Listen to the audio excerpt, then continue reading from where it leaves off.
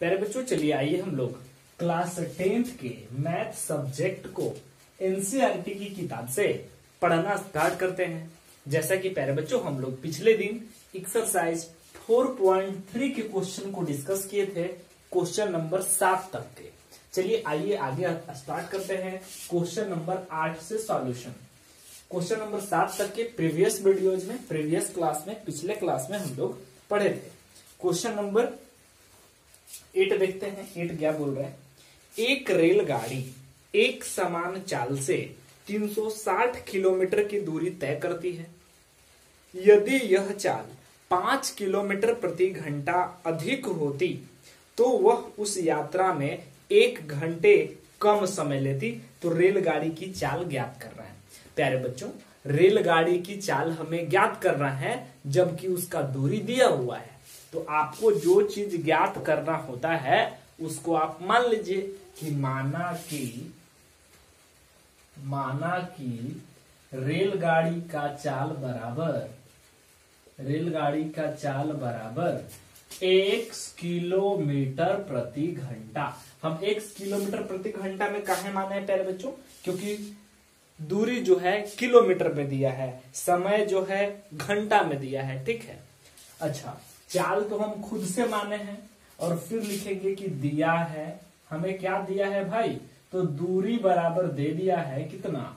360 kilometre. ठीक है?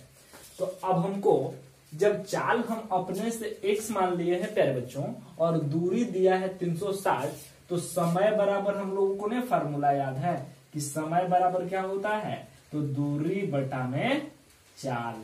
होता है ना? तो दूरी कितना है? 360 ऊपर रखेंगे 360 चाल कितना माने हैं? X तो पहला वाला समय समय कितना लगेगा? तो दूरी बटा में चाल, यानी कि 360 बटा x फिर लिखेंगे पुनः पुनः पुनः क्या बोल रहा है? सवाल पढ़िएगा। लिखता है कि यदि चाल पाँच किलोमीटर प्रति घंटा अधिक होती अधिक होती का मतलब प्यारे बच्चों, क्या? अधिक का मतलब होता है ज़्यादा, ठीक है? और ज़्यादा कब होगा? जब हम लोग जोड़ेंगे तब ना ज़्यादा होगा। तो बोल रहा है कि यदि चाल पाँच किलोमीटर अधिक होती तो यानी कि यदि चाल पाँच किलोमीटर प्रति घंटा अधिक हो तो अधिक हो तो यानी कि अगर पाँच किलोमीटर अधिक हो गया चाल तो अब नया चाल कौन सा हो गया? पहले का तो एक्स माने हैं तो अब हो जाएगा एक्स प्लस पाँच किलोमीटर प्रति घंटा। ये पाँच कहाँ से आया प्यारे बच्चों? तो सवाल में ही लिखा है कि चाल को कितना अधिक करना है? पाँच किलोमीटर प्रति घंटा अधिक कर देना है। का मतलब ये हुआ कि एक्स जो माने हुए थे, उसमें पाँच को ऐड कर देना है। प्यारे बच्चों, अब पहले वाला, दूरी तो वही का वही रहेगा, क्योंकि दूरी तो फिक्स है। सवाल में दिया ही है दूरी। तो अब हम बोल सकते हैं कि ये तो समय है, फिर निकालिए अब। समय कितना लग जाएगा? तो फिर से समय बराबर दूरी बटा में चार। होगा ना? प्यारे बच्चों, आपको कुछ प्रैक्टिस, देखिए, मैथ एक प्रैक्टिस का विषय है, और जितना ज़्यादा आप प्रैक्टिस करेंगे, उतना ही ज़्यादा आप चीज़ों को सीख पाएँगे। तो बोला जा रहा है कि इसमें कितना समय लगेगा? तो अगर दूरी कितना है? 360 और नया वाला चाल कितना आया? x प्लस पाँच। आप देख पा रहे होंगे कि हमारे पास दो दो को समय मिल गया। एगो चाल को x मानने पर समय में निकला 360 बटा एक्स और एक को निकला समय बराबर दूरी बटा चाल कब? जब चाल जो है पाँच ज़्यादा हो जाता है तब। तब सवाल क्या बोला? कि ऐसा करने से यात्रा में एक घंटा कम समय लगता है। तो प्यारे बच्चों, एक घंटा कम समय का मतलब कौन सी? ये समय है और ये समय है। तो समय का ही ना अंतर एक घंटा हुआ। जब कभी भी बोलता है कि समय एक घंटा कम लगे, एक घंटा ज़्यादा लगे, का मतलब ये हुआ कि पहले वाला समय। तो आप लिखिएगा उसके नीचे, इसके नीचे आप लिखिएगा प्रश्न से। प्रश्न से क्या बोलता है? कि समय का एक घंटा का अंतर हो जाता है। तो पहले का समय कितना है? 360 बटा एक्स और फिर कितना समय लगा? तो 360 बटा एक्स माइनस फाइव। ये दोनों का अंतर, कम समय, कम का मतलब कुछ अंतर ना? तो ये दोनों का अंतर मिल गया कितना? एक। प्यारे बच्चों, ये सवाल में बोला था। यानी सबसे पहले सवाल से ही सब कुछ हम लोग निकाल रहे हैं। एक्स माने तो समय हो जाएगा 360 बटा एक्स जब चाल को बढ़ा देंगे, तब हो जाएगा 360 बटा एक्स प्लस पाँच। फिर बोला सवाल में कि दोनों समय का अंतर, यानी कि कम समय लगता है एक घंटा तो इसलिए पहले वाला समय में से दूसरे वाला समय को माइनस कर देने से कितना आंसर आना चाहिए? उसका वैल्यू एक आना चाहिए, कि क्योंकि सवाल में दिया हुआ है। अब प्यारे बच्चों, करना क्या है? इसको एल्सियम लेना है। एक्स और X comma X plus five plus पाँच है ना, को एल्सियम लेंगे। जब एल्सियम लेंगे तो यहाँ से तो एक्स एक्स कट जाएगा। यहाँ क्या बचेगा? 360 एक्स प्लस पाँच। इसको से इसको गुना कर देंगे। और एक्स प्लस पाँच तो एक्स प्लस पाँच पूरा का पूरा कट जाएगा तो माइनस में हो जाएगा 360 को एक्स से गुना करेंगे 360 बराबर में एक्स यहाँ पे देखिए तो 360 एक्स प्लस 360 को पाँच से गुना कीजिएगा तो कितना आ जाएगा? 1800 ठीक है? अब इसको हम लोग गुना कर दिए तो 1800 आ गया और फिर माइनस 360 एक्स बटा कितना? तो एक्स स्क्वायर प्लस पाँच एक्स बराबर इस एक को एक बटा एक लिख सकते हैं। प्यारे बच्चों क्या होगा? तो ये वाला प्लस में और ये वाला माइनस में दोनों खत्म हो गया। तो अब हम तिरछा तिरछी भी गुना कर सकते हैं। तो इसको इसको तिरछा तिरछी गुना करेंगे तो देख पा रहे होंगे X square plus five X को वन से गुना करेंगे तो X square plus five X होगा, और बराबर में कितना? अठारह सौ को एक से गुना करेंगे तो कितना होगा? अठारह सौ। ठीक है? अब ये एक्स स्क्वायर प्लस पाँच एक्स बराबर अठारह सौ। अब हम जानते हैं कि ये वाला अठारह सौ को इधर लाएँगे तो प्यारे बच्चों, क्या बनेगा? X square X square plus five X इसको इधर लाएँगे तो माइनस अठारह सौ, बराबर में कितना? ज़ीरो। अब यहाँ से आप ये निकालिएगा कि मूलों का अस्तित्व है कि नहीं है। अब लिखिएगा कि ए का वैल्यू कितना? तो वन। बी का वैल्यू कितना? तो एक्स के बगल वाला पाँच। सी का वैल्यू प्यारे बच्चों कितना? माइनस अठारह सौ। तो यहाँ से आप डी का मान निकालिएगा, ठीक है? और डी का मान निकालने के बाद आप एक्स का फार्मूला से minus B plus minus root D बटा में टू ए निकाल लीजिएगा। तो यहाँ से जो एक्स का वैल्यू एगो प्लस में आएगा, जब यहाँ से निकालिएगा तो दो गो आंसर आता ना, है? एगो आएगा प्लस में और एगो आएगा माइनस में। तो माइनस वाला जो आंसर आएगा, उसको नहीं लेना है। जो प्लस वाला आएगा, उसको आंसर ले लेना है। और आप खुद से इसको मैच कीजिएगा, खुद से बनाने का प्रयास कीजिएगा। चलिए अगले क्वेश्चन की तरफ़ बढ़ते हैं। क्वेश्चन नंबर जो है, वो कौन सा? क्वेश्चन नंबर नाइन अब क्वेश्चन नंबर नाइन में क्या बोल रहे हैं? जरा उसको हम लोग देखेंगे कि क्वेश्चन नंबर नाइन क्या बोल रहा है। तो क्वेश्चन नंबर नाइन अगर आपके पास किताब है तो किताब निकाल लीजिए। क्वेश्चन नंबर नाइन बोल रहा है, दो पानी के नल, एक साथ एक हौज को नौ पूर्णांक तीन बटा आठ घंटा में भर सकते हैं। ठीक है। यानी कि दो गो पानी के नल है और उसको एक गो टंकी में छोड़ा जाता है। ठीक है? फिर बोल रहा है, बड़ा ब्यास वाला नल को भरने में कम ब्यास वाले नल से 10 घंटा कम समय लगता है। देखिए, अब बात को समझिएगा। यहाँ पे एक हौज है, हौज का मतलब टंकी है। ठीक है? यहाँ पे एक टंकी है, प्यारे बच्चों। और इसमें दो तरह का नल खुलता है। दो तरह का नल खुलता है। एक ये हो गया। फिगर से समझिए। हालाँकि फिगर मैथ में बनाना ज़रूरी नहीं है। ठीक है? और एक और नल खुलता है।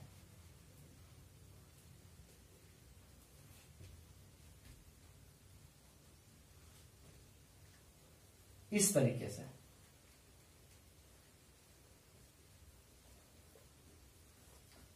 आप देख पा रहे होंगे।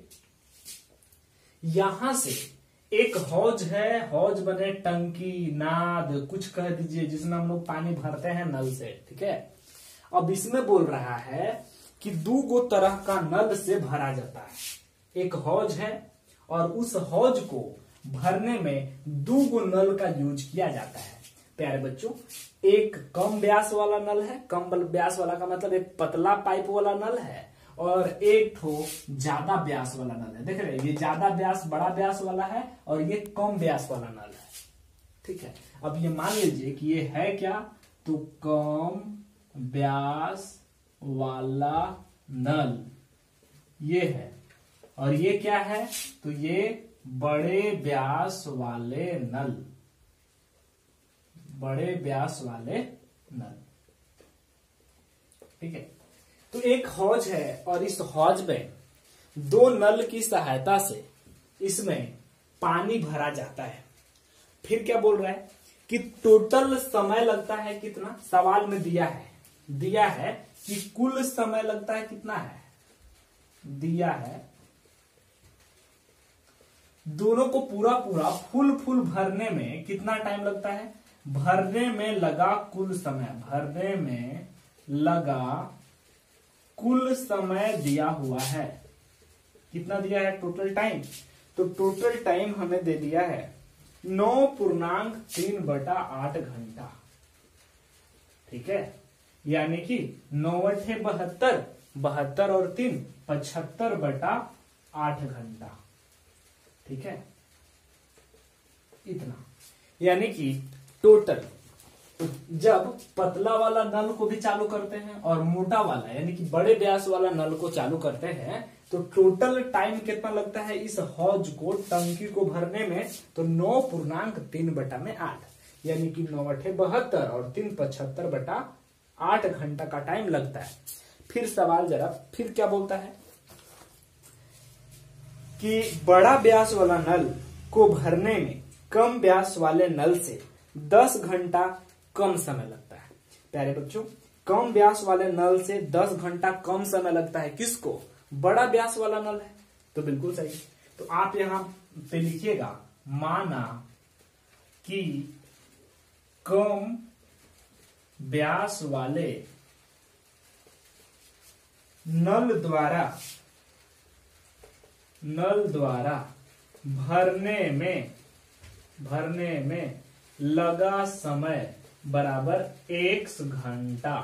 यानी कि हम ऐसा मान रहे हैं कि जिसका व्यास कम है, उसको कई घंटा लग रहा है।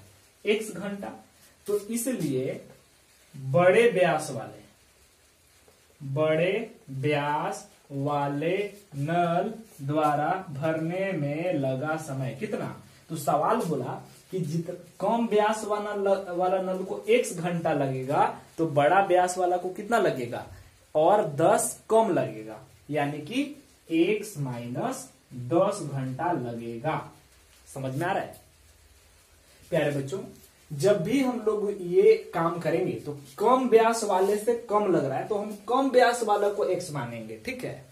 अगर आप चाहते हैं कि बड़ा व्यास वाला तो नहीं, जिससे बोला जाता है, यहाँ पे बोला गया कि बड़ा व्यास वाला जो नल है, कम व्यास वाला से 10 कम लगता है 10 घंटा कम लगता है। तो हम कम व्यास वाला को माने हैं x तो बड़ा व्यास वाला कितना होगा? 10 कम होगा, यानी x माइनस दस। तो इस तरीके से अब हम लोगों का ये आइडिया लग गया। चलिए, अब अगर ये तो टोटल टाइम हो गया, अब हम जरा ये बात कर लेते हैं कि टोटल समय तो एक घंटा लगेगा ना, लेकिन ये एक घंटा में कितना भरेगा? तो एक घंटा में एक बटा एक्स भरेगा। तो जरा हम इसको अब ये लिखना चाहते हैं, फिगर को मिटाते हैं। अब अब एक कम व्यास वाले नल द्वारा कम व्यास वाले नल द्वारा एक घंटा में भरा भाग, एक घंटे में भरा भाग। अगर हम बात करें तो एक घंटा में कितना भरेगा? तो इसको पलट देंगे, यानी कि वन बटा एक्स। ठीक है? और एक घंटे में बड़ा व्यास वाला से निकालते हैं। बड़े व्यास वाले नल द्वारा एक घंटे में भरा भाग कितना होगा? तो इसको भी पलट देंगे, यानी कि वन बटा एक्स माइनस टेन। ये कितना भाग भरेगा? तथा कुल समय कितना लगेगा? कुल समय इतना लग रहा है तो इसलिए कुल भाग मेरा कितना हो जाएगा? कुल भाग एक, कुल एक घंटे में, एक घंटे में भरा कुल भाग कितना हो जाएगा? कुल भाग निकाल रहे, देखिए, कि कितना आखिर पूरा अगर टंकी जितना रहेगा, उसका कितना भाग भरेगा? तो कुल भाग निकालने के लिए जो कुल समय लग रहा है, उसको पलटना पड़ेगा। जैसे कि सब का पलटे है ना, वैसे ही आठ बटा पचहत्तर हो जाएगा। ठीक है? तो आप बताइए, एक घंटा में भरा भाग कम ब्यास वाला नल ले रहा है एक बटा एक्स और बड़ा भाग वाला, बड़ा ब्यास वाला नल एक घंटा में कितना भर रहा है? एक बटा में एक्स माइनस टेन और टोटल कुल भाग कितना है? आठ बटा पचहत्तर। तो इस तरह से हम यहाँ पे याद रखना पड़ेगा कि नल टंकी वाला जहाँ भी मामला होता है तो भाग निकालने के लिए क्या करते हैं? उसको पलटना पड़ता है। फिर लिखेंगे प्रश्न से। प्रश्न से। प्रश्न से क्या लिखेंगे? कि टोटल कुल भाग ना आठ बटा पचहत्तर है तो कम ब्यास वाला भाग और बड़ा ब्यास वाला भाग दोनों को ऐड कर देंगे तो कुल भाग निकल जाएगा। यानी कि one by X plus one by X minus ten बराबर कितना प्यारे बच्चों? आठ बट्टा में पचहत्तर। जरा इसको हम लोग एल्सियम लेते हैं। तो एक्स और एक्स बट्टा माइनस दस का एल्सियम कितना हो जाएगा? तो एल्सियम हो जाएगा इतना। अब x से तो x कटेगा तो यहाँ बच क्या जाएगा? X माइनस टेन प्लस इससे ये कटेगा तो यहाँ क्या बचेगा? सिर्फ़ x बराबर आठ बटा पचहत्तर। फिर क्या लिखेंगे? तो x और x मिलके हो गया ऊपर टू एक्स माइनस टेन फिर नीचे x x को गुना करेंगे तो x स्क्वायर और x को माइनस दस से माइनस दस एक्स बराबर आठ बटा में पचहत्तर। अब इसको हम लोग तिरछा तिरछी गुना करा सकते हैं। मतलब प्यारे बच्चों, कि पचहत्तर को इससे, इसको इससे। तो कुल मिलाकर हमें अब क्या निकल जाएगा, वो जरा देखते हैं। तिरछा तिरछी गुना करेंगे तो पचहत्तर को दो से गुना कीजिए तो कितना हो जाएगा? डेढ़ सौ एक्स। माइनस माइनस पचहत्तर को दस से, साढ़े सात सौ। आठ को एक्स स्क्वायर के साथ। तो आठ एक्स स्क्वायर। आठ को माइनस दस एक्स के साथ। माइनस अस्सी एक्स। ठीक है? अब हम क्या जानते हैं कि सबको एक साइड ले जाइए एक तरफ़ ज़ीरो बनाइए। तब ना द्विघात समीकरण नज़र आएगा। तो यहाँ पे हो जाएगा ज़ीरो। इधर कर लेते हैं ज़ीरो। तो ये वाला उधर जाएगा। तो प्लस सॉरी माइनस में डेढ़ सौ एक्स हो जाएगा। यहाँ प्लस है तो उधर जाएगा तो माइनस ये माइनस है तो उधर जाएगा तो कुछ हो जाएगा। प्लस और ये दोनों तो पहले ही से उधर है, यानी कि आठ एक्स स्क्वायर माइनस अस्सी एक्स इसलिए प्यारे बच्चों, हम यहाँ पे लिख सकते हैं कि एक्स स्क्वायर वाला को पहले लिखा जाता है तो आठ एक्स स्क्वायर एक्स एक्स वाला ये है तो माइनस एक सौ पचास और माइनस अस्सी तो माइनस दो सौ तीस एक्स अब ये प्लस में कितना? साढ़े सात सौ बराबर कितना? ज़ीरो। तो आप यहाँ से देख पा रहे होंगे कि हम लोगों को ये चीज़ मिल गया। अब यहाँ से आपको करना क्या है? ए का वैल्यू यहाँ पे क्या हुआ प्यारे बच्चों? आठ। बी का वैल्यू कितना हुआ? तो माइनस दो सौ तीस। और सी का वैल्यू कितना हुआ? साढ़े सात सौ। तो आप यहाँ से पहले डी निकालिए और फिर एक्स का मान निकाल दीजिए। Minus B plus minus root D बटा two minus B plus minus root D बटा टू ऐसे प्यारे बच्चों, जब आप इसको सॉल्व कीजिएगा तो जो कुछ भी आंसर आएगा तो हमें किसका वैल्यू लेना है? जो हमेशा प्लस वाला का वैल्यू आएगा। फिर क्या बोल रहा था मामा में? कि प्रत्येक द्वारा अलग अलग हौज भरने में लिया गया समय ज्ञात कीजिए। जब आप इसको एगो को प्लस में आंसर आएगा और एगो का माइनस में आंसर आएगा। तो माइनस वाला नहीं लेना है, ठीक है? माइनस में आपका आएगा तैतीस और सारे एगो को आएगा चौवालीस। देख लीजिएगा सॉल्यूशन करके कि कितना आता है। और माइनस तैतीस से चौवालीस इसका नहीं आएगा, वो शायद अगले वाला का आएगा। इसका नहीं आएगा मतलब हम कुछ आप ऐसी बता रहे थे। तो माइनस वाला का नहीं लेंगे, प्लस वाला का लेंगे। तो प्लस वाला जो हो जाएगा, एक्स का मान हो जाएगा, और एक्स का मान किसका मान है? कम ब्यास वाला का ना? तो बड़ा ब्यास वाला का क्या करेंगे? उसमें से दस घटा देंगे, ठीक है? क्योंकि एक्स माइनस दस हम लोग लिए थे। तो इस तरीके से आप इसका सॉल्यूशन कीजिएगा। हम अधूरा छोड़ रहे हैं क्वेश्चन द्विघात समीकरण लाके और छोड़ दे रहे हैं आपके लिए। आप ज़रूर इसको पूरे तरीके से सॉल्व कीजिए। चलिए, आइए, आगे बढ़ते हैं। क्वेश्चन नंबर टेन की तरफ़। और टेन प्यारे बच्चों, बहुत सिंपल है क्योंकि अभी अभी हम लोग इसके पहले आठवां क्वेश्चन को किए हैं। और वैसे ही है दसवां नंबर भी। पढ़ते हैं दसवां क्वेश्चन क्या बोलता है? मैसूर और बेंगलोर के बीच 132 किलोमीटर यात्रा करने में।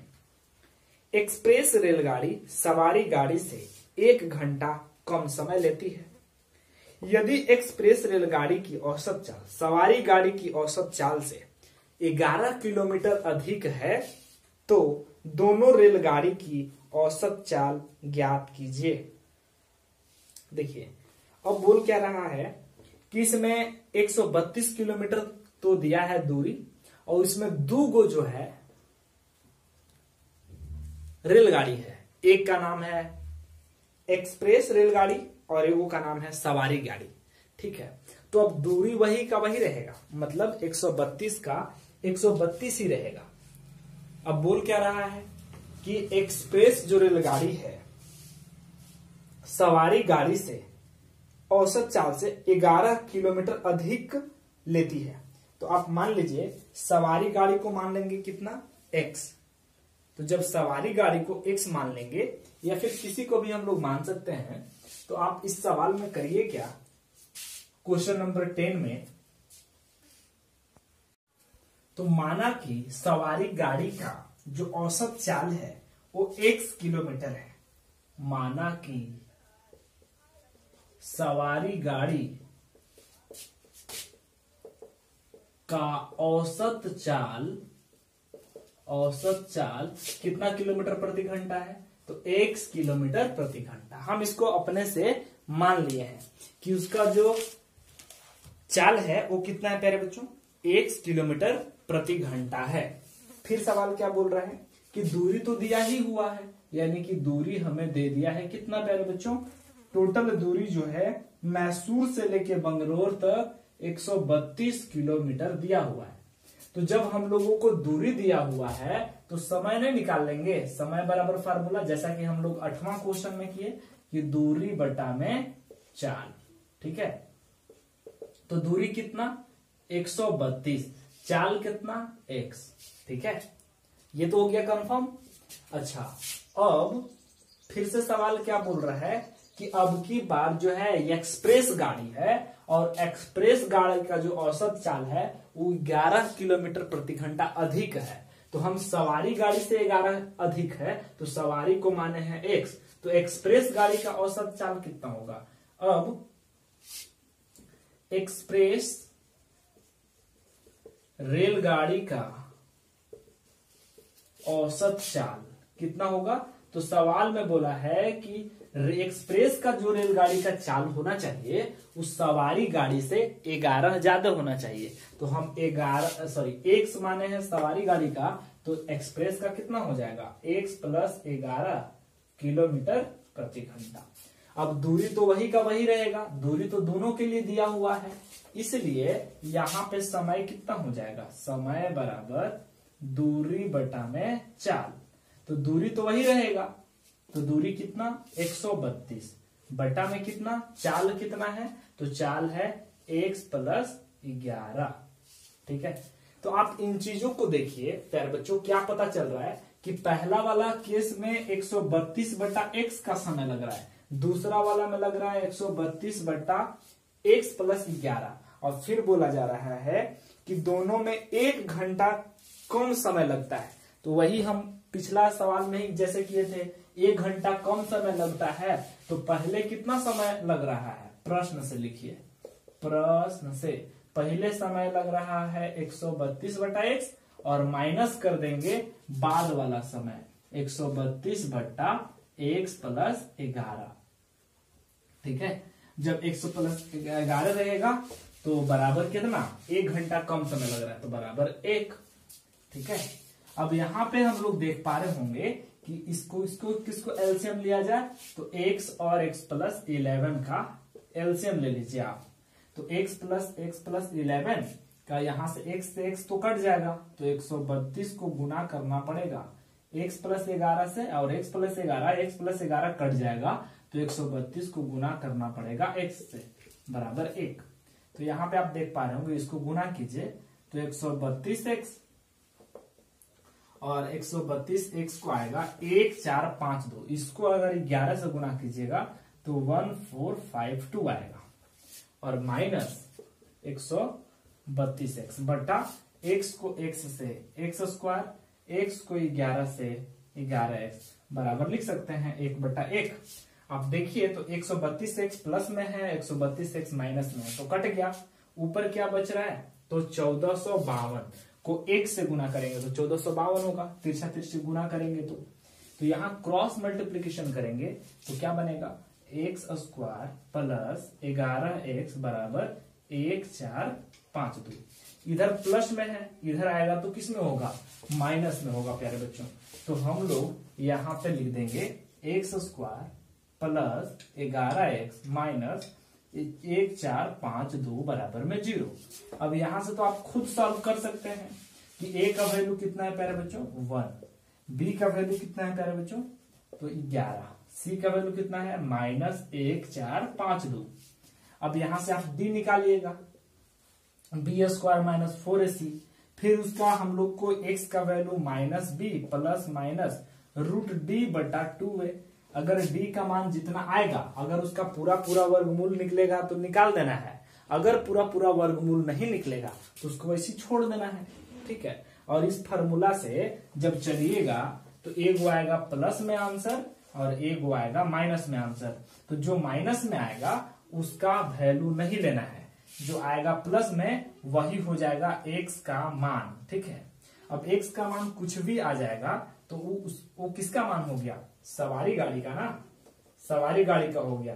तो इसलिए दोनों रेलगाड़ी का चाल पूछ रहा है कि दोनों रेलगाड़ी का चाल कितना होगा? तो सवारी का होगा, क्योंकि हम सवारी गाड़ी का ही एक्स माने हैं। तो जो एक्स का मान प्लस में आ जाएगा, वो सवारी गाड़ी का होगा और इसलिए एक्सप्रेस का भी निकालना है। तो एक्सप्रेस का कितना माने हैं? एक्स में ग्यारह जोड़ देना है। तो एक्स का मान जितना आएगा, उसमें प्लस ग्यारह कर दीजिएगा, वो हो जाएगा एक्सप्रेस का। यानी कि कहने का मेरा मतलब ये है कि जब कभी भी माइनस में आता है, वो सही आंसर नहीं होता है। हम लोगों को चलना होता है इससे। जब इसका एक्स का मान हो जाएगा कुछ तो उसमें हम लोग ऐड कर देंगे। तो इस तरीके से प्यारे बच्चों, हम लोग क्वेश्चन को सॉल्यूशन करेंगे। चलिए इस एक्सरसाइज का एक सबसे लास्ट क्वेश्चन बचा हुआ है क्वेश्चन नंबर इलेवन क्योंकि इस चैप्टर में, इस एक्सरसाइज में टोटल ग्यारह क्वेश्चन ही है तो ग्यारहवा क्वेश्चन देखते हैं। क्वेश्चन पढ़िए, क्या बोल रहा है? दो वर्ग के क्षेत्रफल का योग चार सौ अड़सठ मीटर स्क्वायर है। प्यारे बच्चों, जरा ध्यान से समझिए। हम लोगों को ग्यारह सवाल में दो गो वर्ग दिया है। एगो वर्ग ये है और ये गो वर्ग वर्ग का मतलब समझते हैं ना? जिसका चारों भुजा जो है बराबर है, उसको हम लोग बोलते हैं वर्ग। तो दो गो वर्ग है, और इसका क्षेत्रफल जितना आएगा, इसका क्षेत्रफल जितना आएगा, दोनों का क्षेत्रफल जो है, जोड़ेंगे तो चार सौ अड़सठ आना चाहिए। तो इसको में मान लिए जाए कि भुजा को हम मान लिए ए मीटर। भुजा कितना है? ए है। और इसका भुजा मान लीजिए कि बी है। ठीक है? तो आप ऐसा मान लीजिएगा कि पहला वर्ग है, ये दूसरा वर्ग है। तो आप ऐसे मान लीजिए माना कि पहले वर्ग का भुजा, पहले वर्ग का भुजा कितना मान लिए? ए मीटर। ए एम का मतलब मीटर में माना है ए मीटर है। चाहे एक से मीटर मान लीजिए, कोई दिक्कत नहीं है। एक्स मीटर मान लीजिए, इसको कर दीजिए एक्स और इसको वाई वाई कर दीजिए वाई कि इसका भुजा हम वाई माने हैं।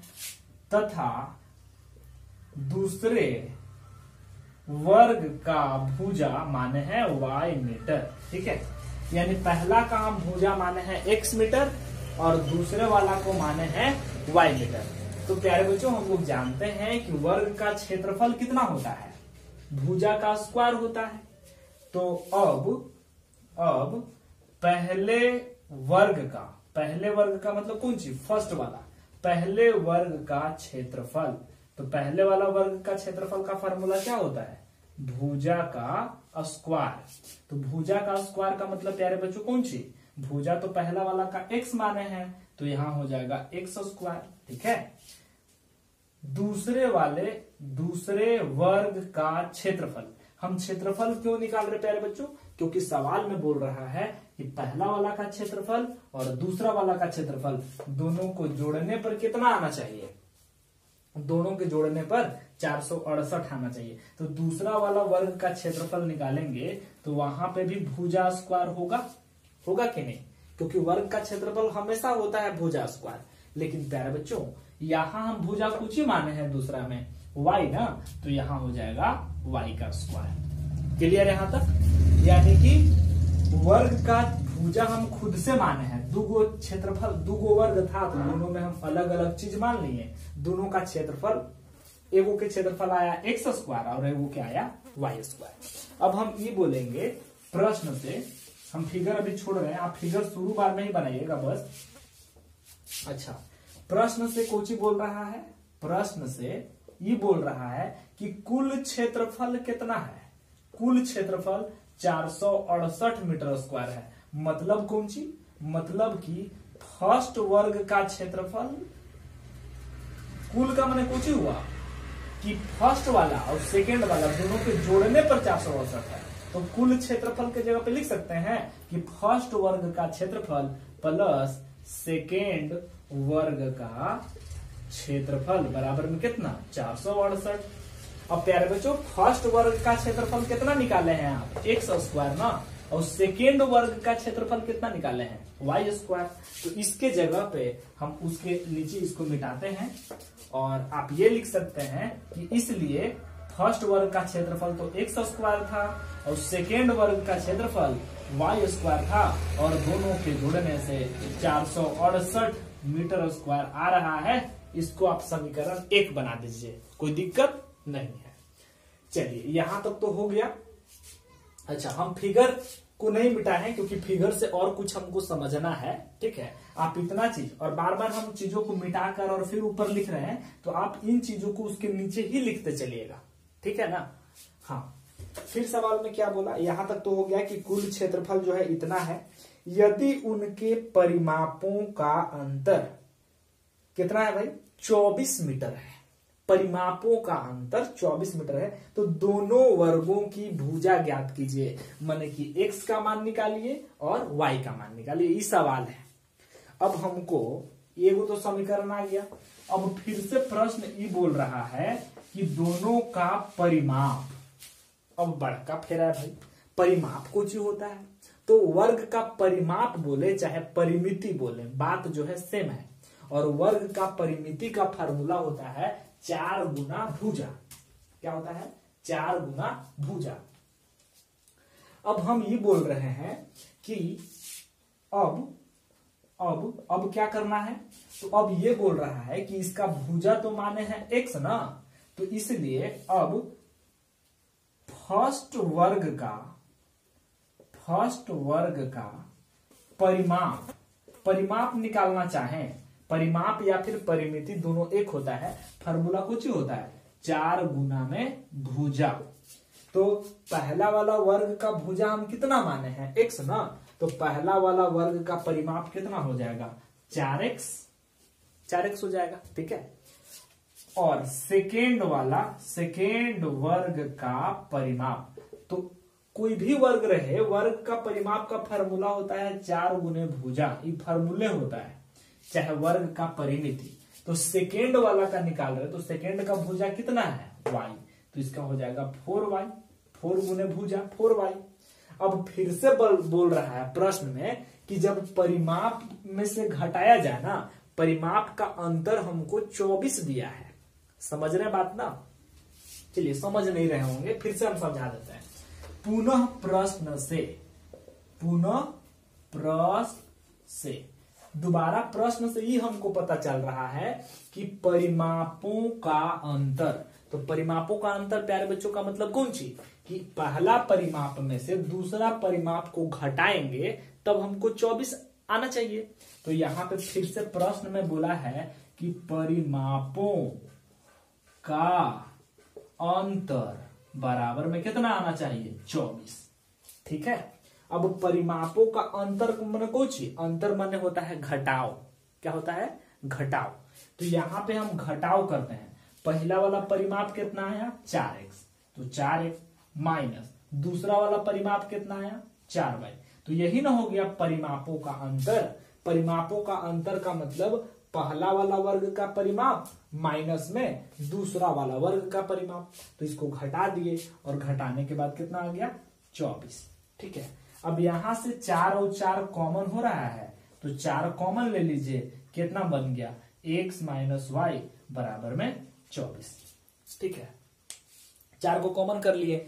अब करना क्या है? हम लोग जानते हैं कि यहाँ से जो कुछ भी गुना होता है, उधर जाता है तो कुछ ही में हो जाता है, भागा में हो जाता है। तो हम यहाँ से ये बोल सकते हैं कि, क्या बोल सकते हैं भाई? तो चार गुना में है और चार इधर से हटेगा तो उधर कुछ ही में जाएगा, भागा में जाएगा। तो इस तरीके से हम बोल सकते हैं कि x माइनस वाई बराबर चौबीस भागा चार।